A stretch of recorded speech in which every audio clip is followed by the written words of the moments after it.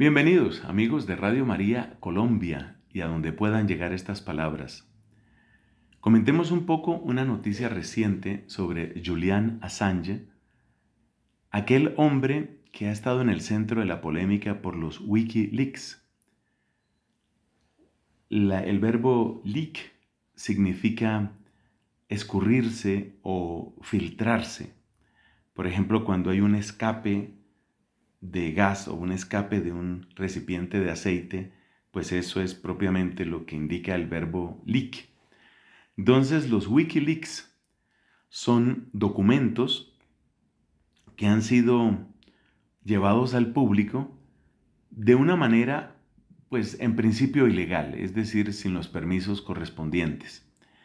Y ese es el origen de la gran polémica por este hombre, Julian Assange. Resulta que él es responsable de haber publicado a través de Wikileaks una gran cantidad de documentos sobre estrategias, decisiones, errores, medidas de seguridad, procedimientos del gobierno de los Estados Unidos de América y concretamente del ejército norteamericano. O sea, estamos hablando de palabras mayores.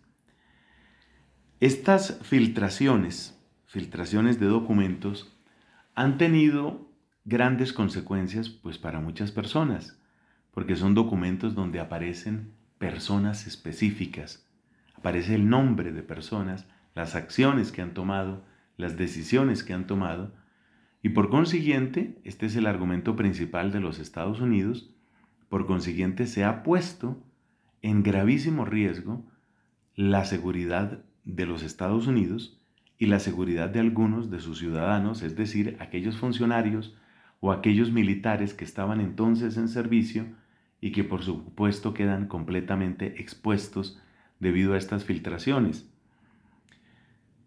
Assange em, ha defendido su acción, lo mismo que la defienden muchos otros, en términos del derecho básico que tiene la población a conocer qué es lo que hacen los gobiernos.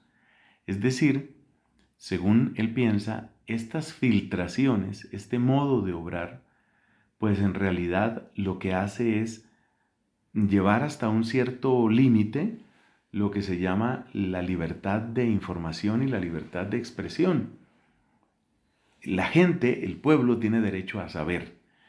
Y de hecho, algunas de las cosas que se han sabido a través de estos Wikileaks, pues muestran temas muy graves, abusos muy graves por parte de, fuerzas del orden, eh, fuerzas militares, etc. Precisamente por todo esto es tan compleja eh, la decisión judicial. Assange después de ser expulsado de su asilo político que duró varios años en la Embajada de Ecuador en Londres, después de ser expulsado, pues fue inmediatamente apresado, por supuesto, por las autoridades británicas, pero el gran problema no es Gran Bretaña, el gran problema no es el Reino Unido, el gran problema es la petición de extradición que por supuesto han hecho los Estados Unidos de América, porque los principales afectados por las acciones de Assange pues son los norteamericanos. Incluso en los mismos Estados Unidos de América hay posiciones divididas. Muchos dicen, pues él tiene que pagar por sus crímenes. Otros dicen, bueno, pero es que si no se dan esas filtraciones, no terminamos de conocer lo que están haciendo nuestros gobiernos y lo que está haciendo nuestro ejército.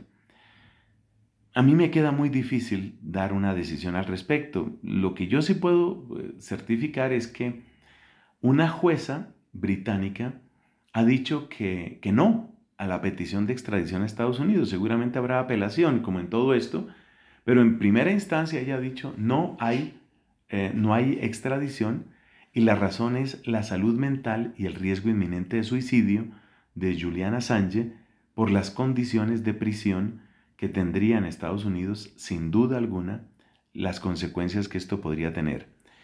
De modo que esta pequeña nota hay que mirarla únicamente como un ponernos al día sobre esta situación y pensar los, los graves temas que están aquí. ¿Hasta dónde tiene un gobierno el derecho a cerrar la información y hasta dónde tiene una persona el derecho a exponer las decisiones de otros.